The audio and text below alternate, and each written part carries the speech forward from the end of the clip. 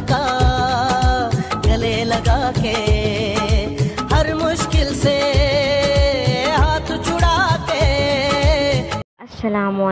Happy independence day आप सबको। और ये देख सकते हैं आप लोग कि 14 अगस्त की कुछ तैयारी थी जो मैंने पहले से ही करके रखी हुई थी। कुछ चीज़ें पहले ही मैंने परचेज़ कर ली थी तो मैंने कहा, क्यों ना आप लोग के साथ शेयर करूँ? और जो वीडियो मैंने शेयर की है, वो जो घर डेकोरेट हुआ हुआ है, वो मेरी खाला का घर है और बहुत अच्छा लग रहा है। उन्होंने बहुत अच्छे से सेलिब्रेट किया है। तो मैंने सोचा, क्यों ना आप लोग के साथ वीडियो शेयर करूँ? और ये कुछ सामान है जो कि मेरे पास था, जो कि मैंने परचेज़ किया था। तो मैंने कहा, क्यों ना आप लोगों के साथ मैं इसको शेयर करूँ? और आप लोग देख सकते हैं, आप सबको मेरी तरफ़ से जश्न आज़ादी मुबारक।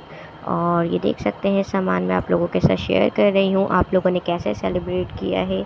और मेरे वीडियो आप लोग को अच्छी लगे तो प्लीज़ मेरे चैनल को सब्सक्राइब कीजिएगा वीडियो को लाइक एंड शेयर कर दीजिएगा।